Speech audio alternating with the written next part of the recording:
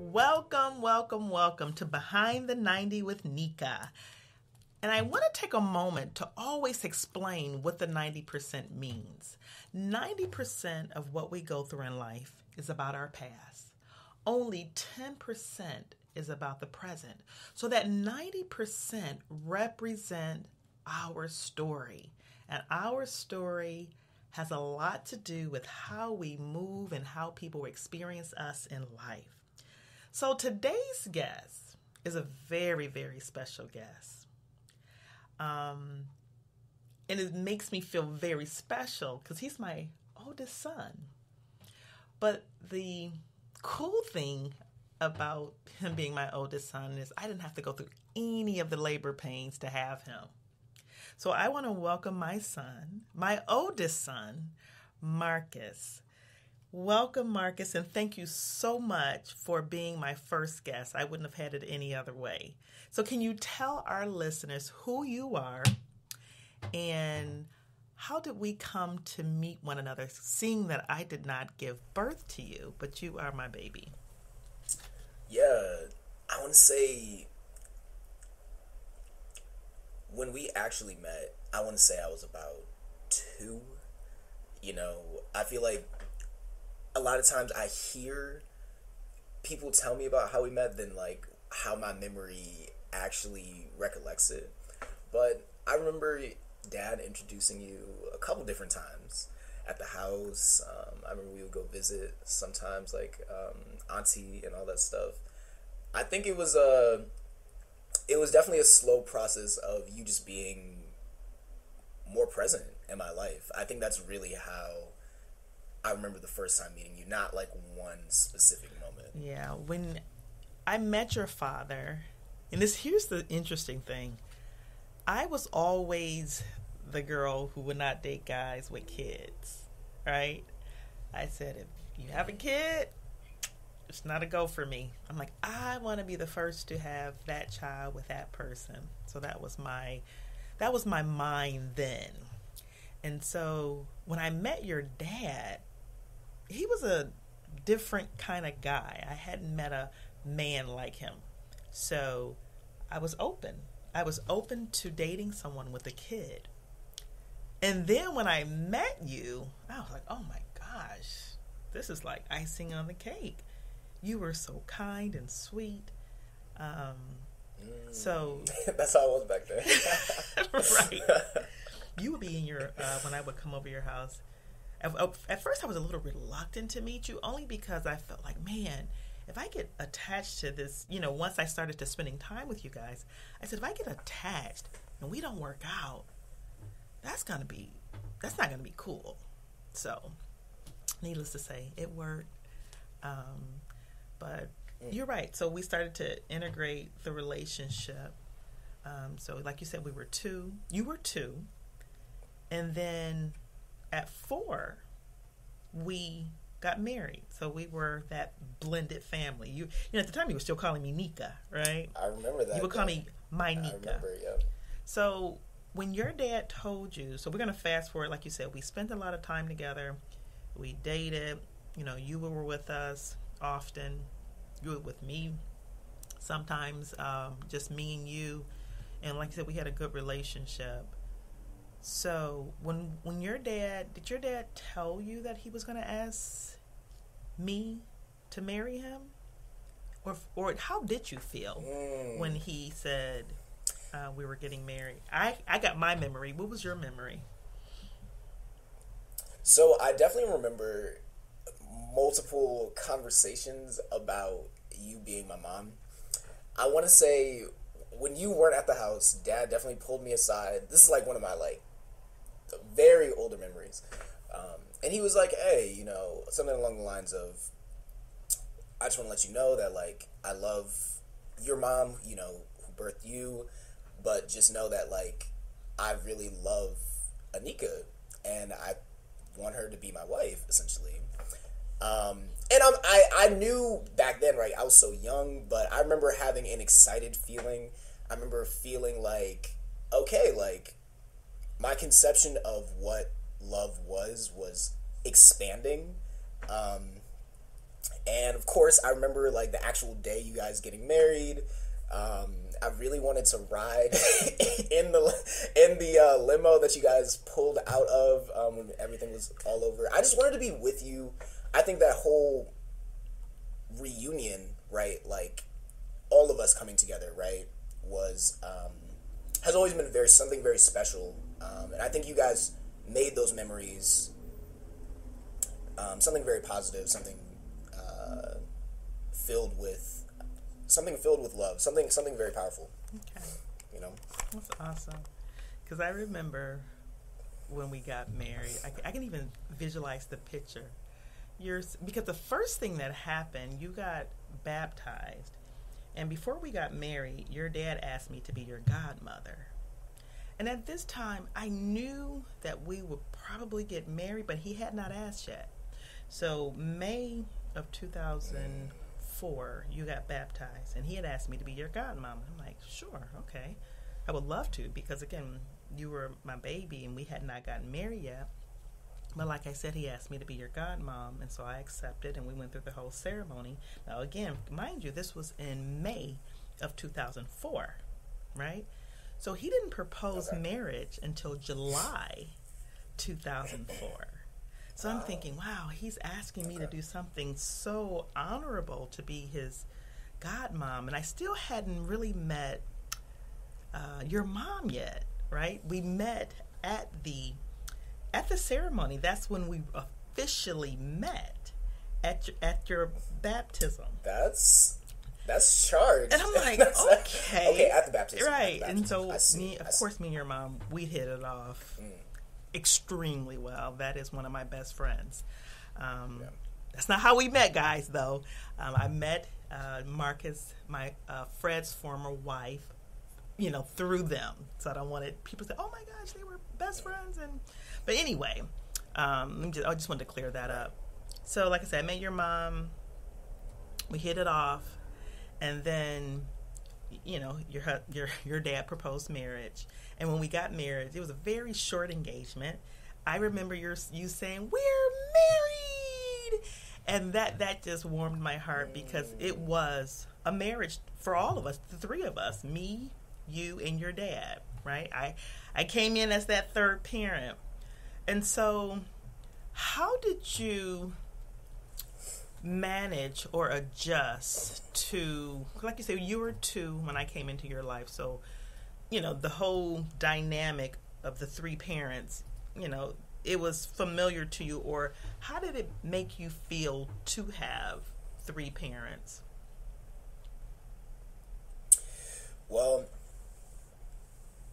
I also want to, you know, add a bit of context. Um, you know, when I would be a lot, a lot of, a lot of like the parenting kind of came from being picked up by who, right, at daycare. It was like, oh, you know, you need Marcus. You know, you need to coordinate like who's going to pick you up from daycare. Is going to be your mom today? Oh, they forgot. Oh, okay, is going to be your dad today? Is going to be your grandparents? So I was staying at Granny and Grandpa's house um, with mom. So in a way, you know, when mom was working, there kind of was a fourth parent um, because there was like grandparents that you had to um, interface with and you know respect and dialogue with. So it was a bit of a different way of, um, I guess, upholding different parents' expectations. Because you know, dad, he's a little bit stricter. You know, he's the disciplinarian. Um, you know, grandparents, they would spoil you, so, you know, you could get away with XYZ. Um, you were very, like, also a little strict. I wouldn't say as strict as, like, dad could be, but um, I think you, you definitely introduced another level of emotional um, maturity that you expected. Um, and that you helped prosper and grow and I think that was another lens that I wasn't used to growing up around because mom and dad and grandma they they weren't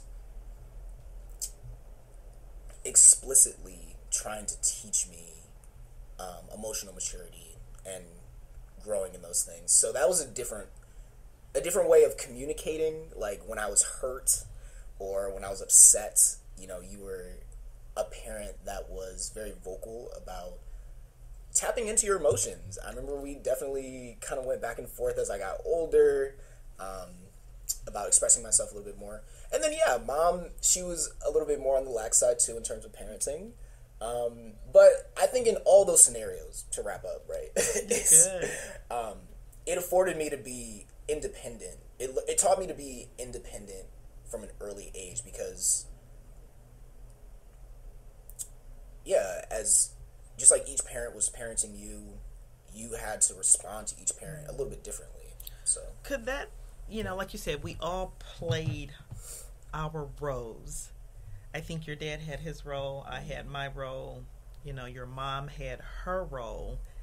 And I think we we we I don't want to say played though. We uh, facilitated those roles. I I think okay. I'm, I don't think it was perfect, but I feel like we all had our strong points that we wanted to impart to you, intentionally, unintentionally. There were things. I think your your mom is she's she always inspired me to just kind of just relax and let your hair down a little bit. So you needed that.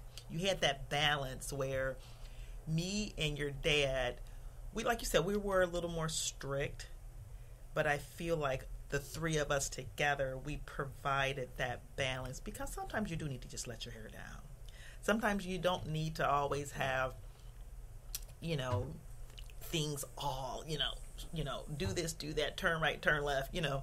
You don't always need that all the time. So i think your your mom brought you know structure and she brought what I learned from her this freedom to just chill. Because I, I, I can be a little intense with my expectations because I'm always thinking about future, how people experience you.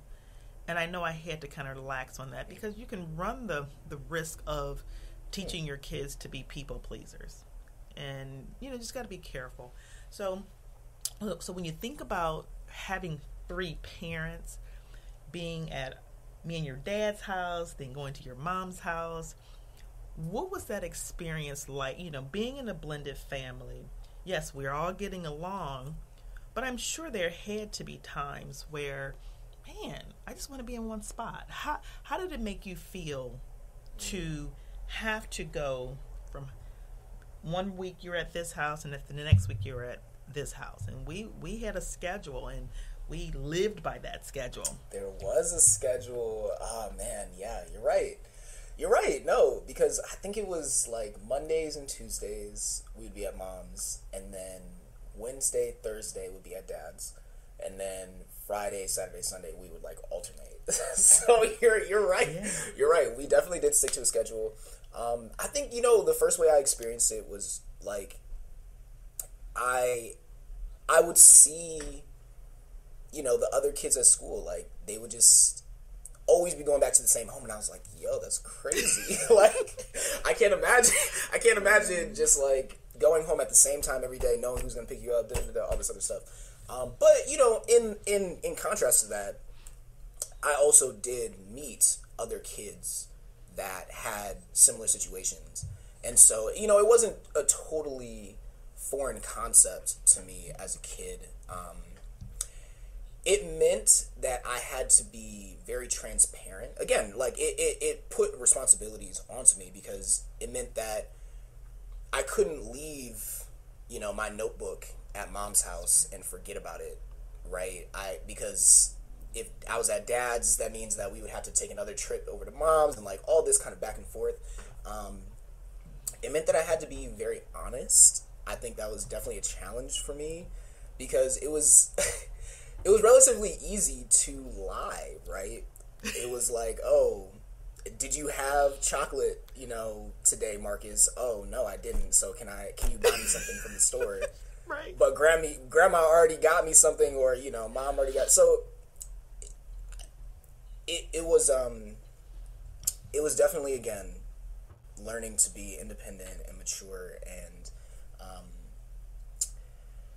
I think it made it, it. It also tested how much I respected my parents at different moments in my life. Um, because I would I would go to get advice from you guys individually mm. on things that were bothering me.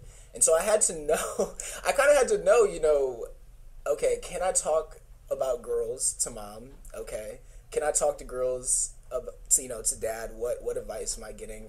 If I'm dealing with, you know, friendships that are, you know, crumbling or that aren't as strong as I want, you know, who do I go to? so it was it was a little bit of trial and error because I had to learn how to trust each of you guys individually with um, different things. But I would say any other pain points. Um, I think you know what it also meant when it came to holidays and like uh, Mother's Day and Father's Day. It I think it also kind of brought up like, okay, like it's it's dad always kind of facilitated or taught me that like your moms are the most important thing, you know, in the world. Like the women in your life should be at the forefront of your respect, of your love, of your intentionality, all those kind of things. So yeah, I think it just meant more love. It meant more responsibility. It meant more um, intentional intentional acts of kindness. Yeah. You know. So when I hear you, what I hear is that there are pros and cons, right? You, I think the thing that kind of touched me, what you just said, is just like that going back or back and forth creates this layer of responsibility that oh I got to remember to take this with me because I'm going to be leaving for school over this house, right? And so it almost had me a little choked up and because uh, I really do think that we provided, you know, not a perfect, you know, um, situation, but a good situation, right? We tried to be very intentional about making life seamless for you and never wanting you to feel stressed. And, you know, oftentimes I would ask you, you know, Marcus, am I doing a good job? You know, is there anything that you need from me? Um, and I, I don't know if you felt comfortable you know, telling me because as your stepmom, I never wanted to feel like a stepmom. I didn't want it to feel like a stepmom situation because sometimes stepmoms have a bad reputation. Um, and I never wanted, and I know there's a lot of great stepmoms, right? But sometimes when they say the stepmom, it takes away to me the the value of what stepmoms do offer. So I often like to call myself your bonus mom and your mom has always been so gracious with sharing you, you know, if I take you to the doctor, hey, can I, you know, I can take him, or you know, we kind of switch off of who, you know, whoever's schedule would allow. She would take you. Sometimes I would take you. So I appreciated her allowing me to step into a mother role, right, and not this step parent role where you have limited, you know, interaction with that that child because she really allowed me to be your mom and she didn't separate it. Um, but I can recall when you would go back to your mom's house, it would be sadness for me. Um, mm. And I felt that. I definitely did, mom. Because I got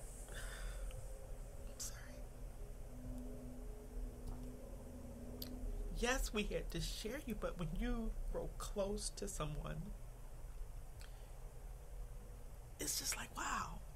I wish the situation, although, you know, I love our family, it was hard sometimes because if we are interacting, you're having such a good time, and then you gotta leave. I know. That wasn't always easy for me, and I remember I would talk. Mm, I'm getting myself together.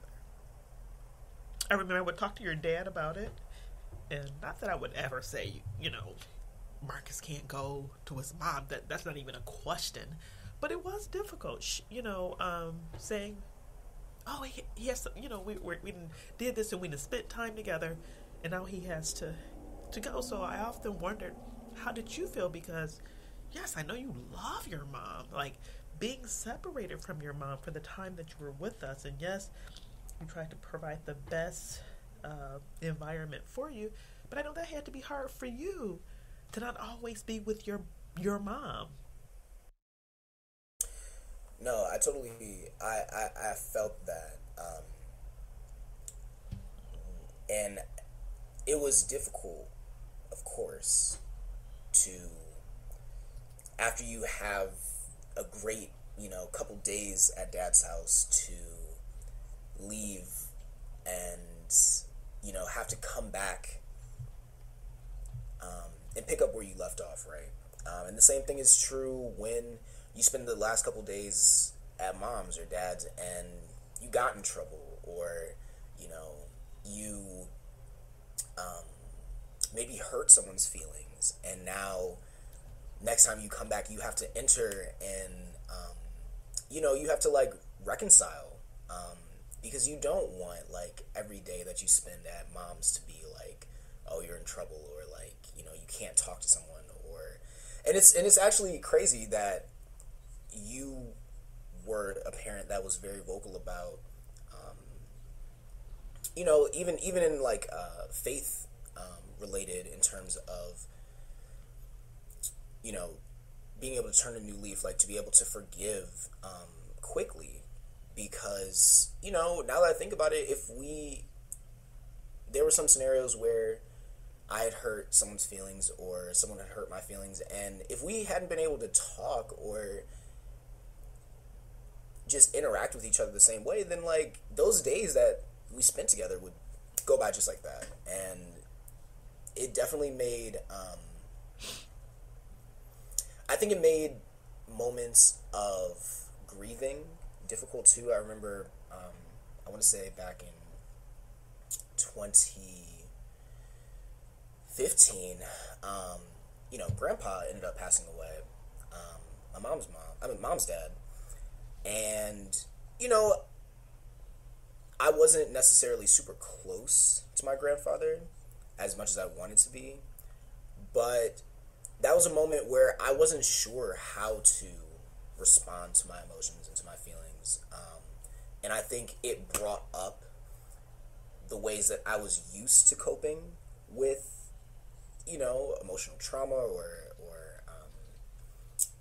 or grief in those moments. Um, and I think those were a couple months or at least a year where I was maybe a little detached from my emotions. And that I think was where some tension between you and I had really come to a, a peak because I wasn't really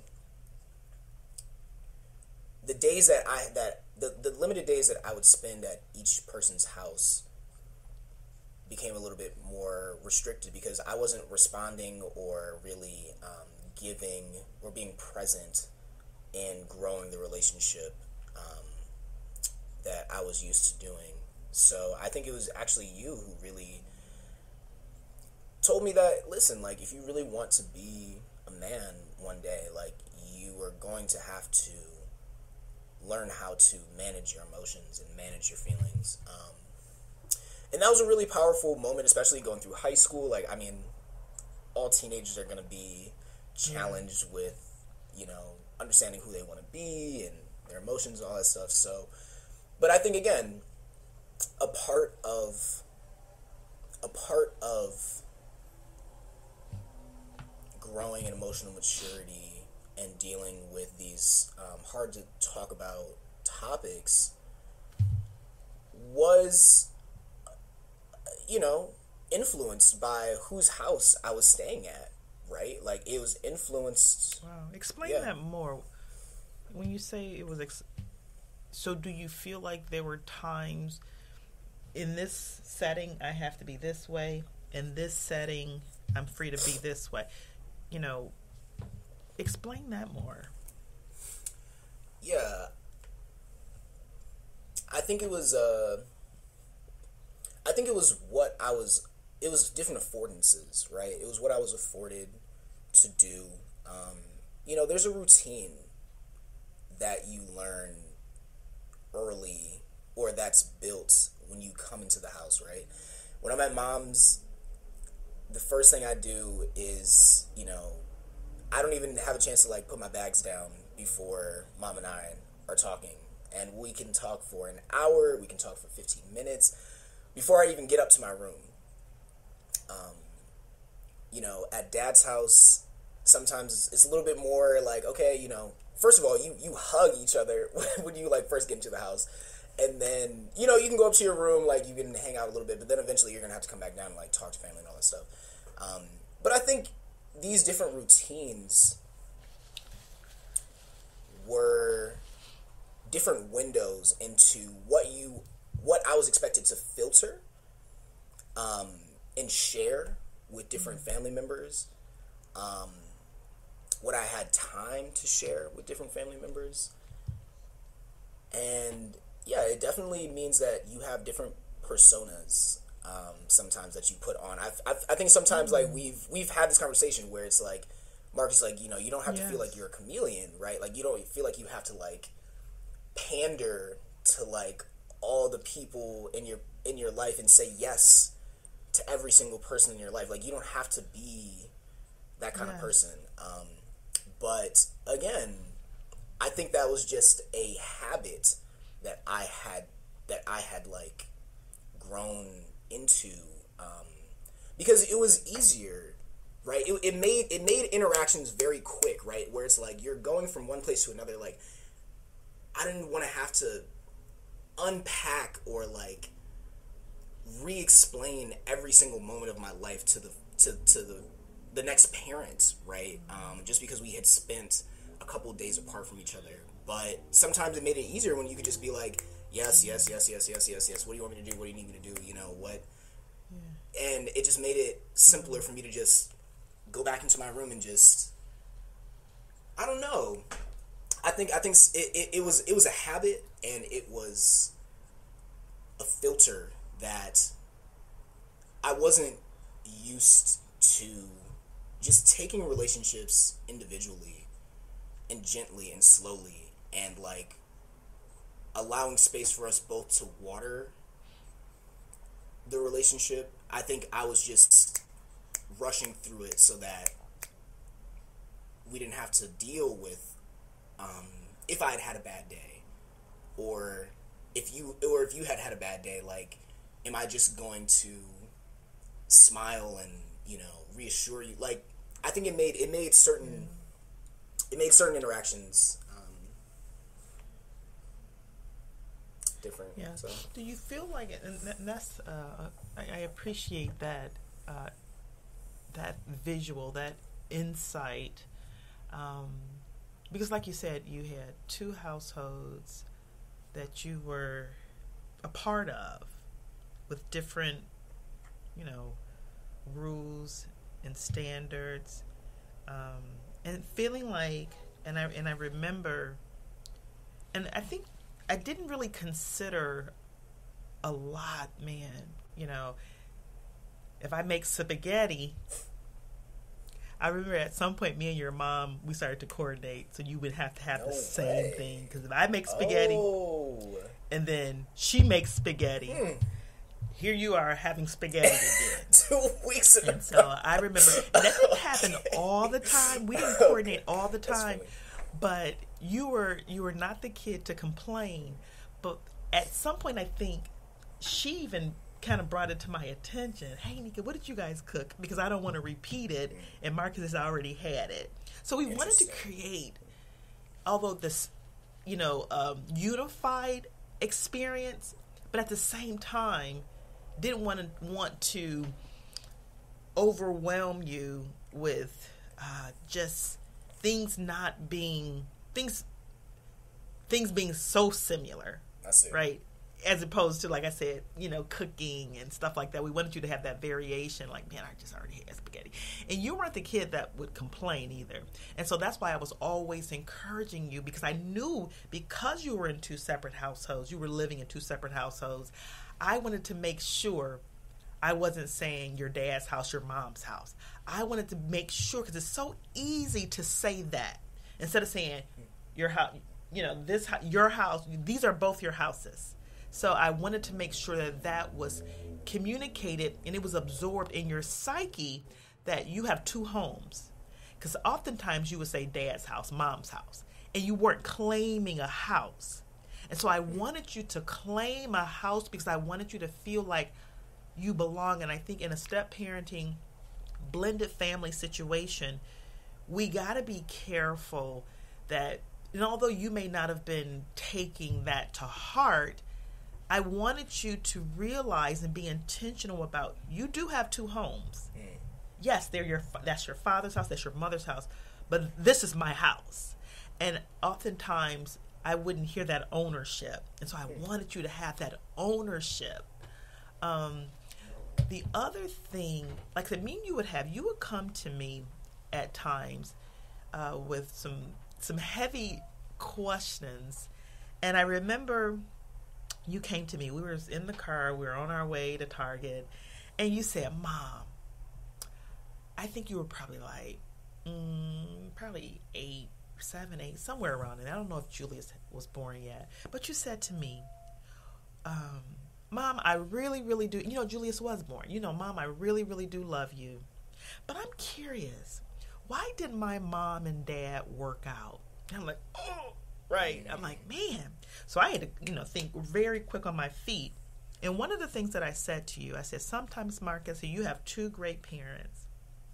I said, but sometimes people are better off just being friends instead of husband and wife. And I said, I think your parents said, one, you had to be born. So that was one reason why they had to come together. But two, I think um, some people are just meant to be friends because, you know, they get along, they work well together. Both of you have both, you know, parents that are attorneys. And, you know, sometimes people feel like, hey, we get together and we have to be this power couple. Right. But, um, it wasn't what it should have been. Yeah, they were meant to marry because they needed to have you. We, you needed to come into this world. And so I said that to you. Then I said, um, some people are just better off just being friends, and that's what they realized. Not that they hate each other, it's just that they were better off just being friends. And I, when I say I thank God for dropping that in my spirit because I believe that's what it is, because you would come to me often with questions um, that I had to respond to because if you're asking it, you want a response to it. So I, I thought that was. But do you remember that, or do you remember feeling like, hmm? Because again, when your parents um, divorced, you were two. Um, well, you were 15 months when they separate, but the you know the divorce was final when you were two years old. Did you, as you got older, like I said, so pretty much that was kind of the norm right. for you. You didn't really know anything different but as you got older, and I know you probably already repeated this, did you feel like, man, I wish I was just in one household? I'm tired of going back and forth. Or was it just one of those things like, oh, it's cool to have, you know, two homes? How did you right. feel? Can you uh, give me a, can you share that with me? Sure. Um, yeah, I, I, it was definitely a process, I would say, of like you said, asking mom and you and dad kind of like, okay, like, I know I'm in this situation, and I know this is the situation, and I know that this is the, the best alternative. But yeah, I definitely had questions. Um, I think when I was very young, I wouldn't necessarily idealize being only at one house. Um, I just, I think I just, I just wanted, I just wanted you guys. I think was at the end of the day. Um, again, I feel like you guys did a, an amazing job at making me feel like full in terms of like we got you whether you're at one house or whether at your, whether you are at the other. Um, I've realized as I got older that you know, even if even if mom and dad did work out, there may have been all these struggles. Like there may have been like this unhappy marriage. This it, it could have been an unhappy situation. Um, you know, I think about Julius that I never would have had as a brother. I think about you know honor that I never would have had as a sister. I, I think about you know auntie and Brad and see. I mean, I don't want to like call anybody out, but like you know all the cousins and family that I never would have um, known and come to love if a lot of these situations hadn't worked out the way they had. So a lot of times I, I, I learned to cope with it like that. Um, and I and I never really tried to like focus, hyper focus on like, okay, I really just want mom and dad to like be together and us to just have this like you know perfect household, all this other stuff. Um, yeah, I, I was I was I was pretty content. Um, and I think the the truth of the matter is is that mom and dad have individually explained to me over the years like why they didn't work out. Um, and each of them have their own story about why it didn't work out, which is always and of course when I would ask you, you would be like, okay, well this is why it didn't work out. So again, I had these three different interpretations of, you know, the situation and and maybe why you guys have worked so hard to make this this blended household work. Um, I feel like a lot of times I'm struck by that. Um, you know, it's a lot of sacrifice. It's a lot of forgiveness. It's a lot of you know, a lot of the stories I hear are things that like happened to me when I was a baby, right? It's like, oh, you know, the grandparents couldn't stand each other, you know, because after after mom and dad split, they were like, oh, you know, Marcus needs to be at our house. Oh, Marcus needs to be over here. Like, you know, kind of this like infighting. And when I think about that, I'm like, man, I can't imagine my grandparents today, the most gentle people that I know, you know, the people who love us the most, like that they were, you know, being petty, like over over grandchildren, over over um their daughter and their their their son and all this stuff. So well, you were so loved. You were you're thinking about it, your dad is the oldest uh, son, and although your mom has a sibling, but between your uh, grandparents, she's their only. They were, you know, they were the golden children. Not to say that the other mm. children were mm. not, because they're all very, very special. Okay. Um, but I think there's some significance to who they are and and who you are too. Um, mm. uh, granted that they, you know, the grandparents of all their grandchildren, but everybody wanted a piece of Marcus. Mm. Everybody wanted a piece of Marcus, and like I said, when I met your dad, and and I'm so glad, you know, those days are behind us, and um, we all are a big happy family, right? I feel like when I when I came in, I didn't experience that type of tension. I didn't.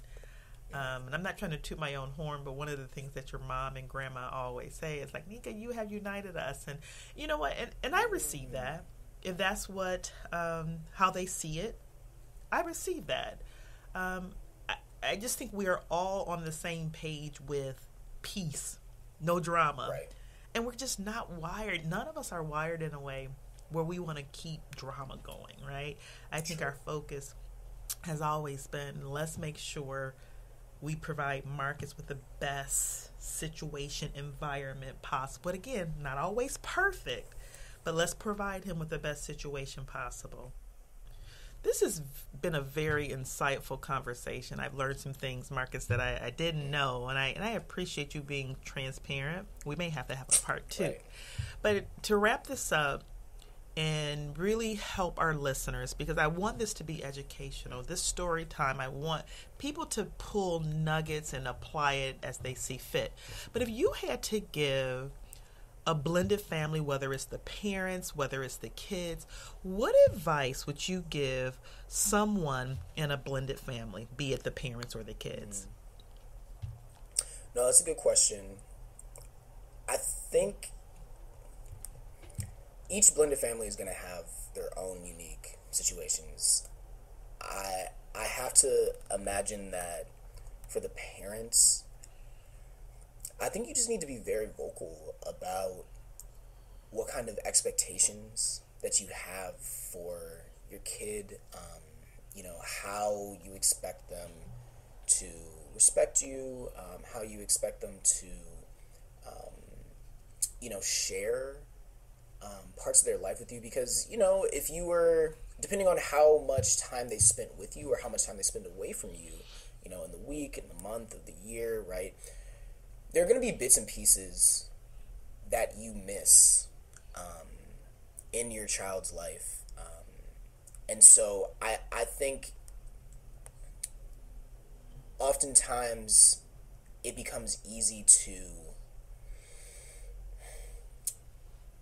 spoil or to treat or to try and make the household when the kid comes back like um, like Disneyland, right? It's like nothing, you know, when you come back to the house, you know, anything that you did wrong like will be forgotten and, you know, anything that you did right will always be right here. Um, but I think, you know, having some like being assertive with like what it means to, you know, if you if you messed up when you left, you know, make sure when you come back that you that we talk about, you know, how you can do better or like what hurt you and what hurt me and you know, again, not everybody's going to be transparent like that, um, which is, but I think just as a parent, you need to set expectations and then I think also be open to forgive. Um, I feel like a lot of times it can be very detrimental, um, you know, to think about coming back to a household where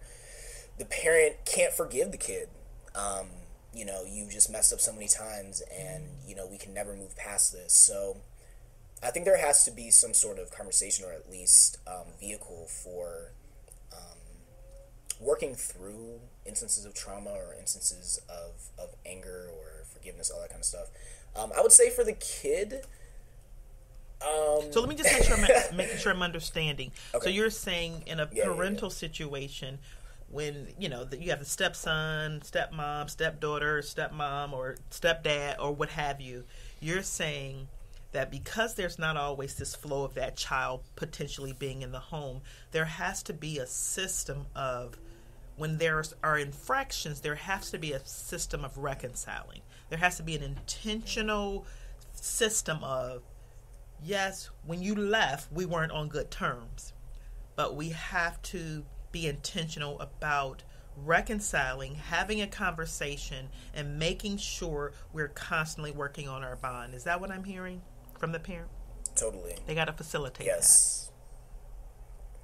Yes, very much so. Um, and I mean, and the and the opposite is true. Like, if there is, I'm not saying that it always has to be like something that was an infraction, but I don't think you have to pretend like every time you come back home that, um, you know, you should you're expected to be spoiled, um, right? Because you don't want because or or like you're competing to make one household better, like blatantly better than the other, or something like that. Right. Um, Because it's not a competition, right? Let's just let it be your home, like I talked about earlier. These are your homes, right? It's not, you know, one parent is trying to make the house like, oh, like that you never want to leave. Make it like Disneyland or, you know, let me make it so fun. No, you're not a guest. You're a family member. so we Mm, don't always Exactly. have to be creating a situation where you're having fun. Let's treat each other like family. That's what I'm hearing you say. Yes, totally. Um, and again, from the kid, I think it's it's very much a feel thing because especially depending on how young you know you are when your parents did split up or you um, or engaged in this blended household, um, it can be difficult to accept a new parent um, as kind of this authority figure. I think it's very much a like you know who are you? How are you going to tell me what to do in my life? How are you going to tell me what to think? All these different things. But i think it, it is i think you as a kid have to follow your gut and you have to give the parent and the other parents in the situation some level of trust um, which again if you don't have trustworthy parents, you I think have to be independent. You have to be an individual, and honestly, it'll take a sense of maturity. But you have to find the line um, where you can offer your trust little bit by little bit to each parent. I don't think that just because you're blood related, you have to necessarily blindly follow what your parents say because you now have a third authority figure giving you a perspective on life. Um, it's three different. You realize slowly that there are three different ways of being successful, of of learning how to forgive other people, of learning how to be, um, you know, grow, um, and make friends and and and fall in love. Like, uh, yeah, I think you have to be you have to be intentional about where you place your trust and giving it out. Um, I think you have to be you have to learn how to be comfortable with the idea that um, you know there there is no I want to say like the one right like fairy tale the one out there. I think you have to realize very early on that like you can find love and you can find family. Like you, you really do choose your family. Um, but Like I don't know family what other dynamic. advice to give. Well, I don't know what Well, I else think you to- did. A, I think you did a good else, job. but, yeah. Like I said, if I could sum up what I heard you say, it's that you you, you want each household. One, you have to build trust. So, from a parental standpoint, you can't just go in trying to um, lay down the law and you have not, or give advice, or there's a process to growing that relationship. And it shouldn't be automatic that you feel like the person you we automatically bond, we automatically respect each other. That's something that comes over time. Yes, you respect each other in the way that, you know, you're not, you know, being evil or malicious or anything like that. But I think in a uh, parent, a blended family, the the step parent has to build that relationship. And just because you're that step parent doesn't mean that it's automatic that you're able to impart or discipline. You know that was the one thing that i you know i discipline but i would never ever put my hands on you. Yeah i may have had to get firm with you and collar you up some but you know you know i never wanted to be that parent to impart a form of discipline that was too harsh uh, right? Yes i've had to you know take my my volume up a bit to make get my point across. But i think that came over time of us having a relationship that i felt that you could receive that from me.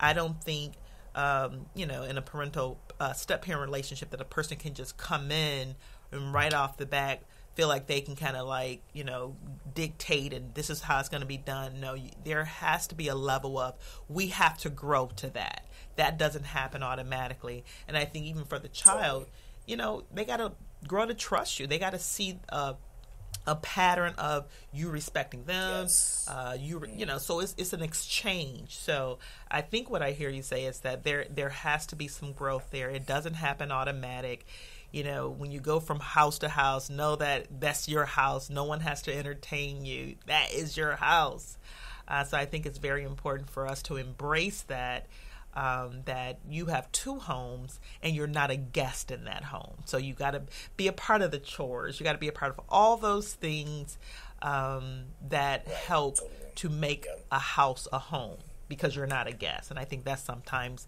um, what we fall guilty of is treating that kid that's going from house to house. We're treating them like a guest, and they're not a guest. They're a family member who is contributing to that household. no, so- that's so true. Yep. Yeah.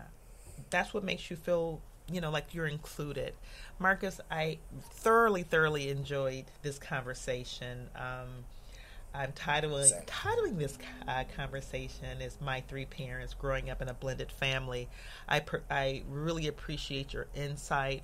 You never know when you're going to come across someone, even in real time, that may need something you know that you have and that you would want to share i would always encourage you to do so always encourage you to look for opportunities to pour into others based on what your experiences are because we all have a story to tell and it's based on our stories and our experiences that we can elevate and help someone else. If you enjoyed the story time, don't forget to subscribe on Spotify, Apple Podcasts, and Google Podcasts. Leave us a review and share with your friends to help us reach more listeners. Stay tuned for more insightful stories. Until next time, take care and keep exploring new connections with us.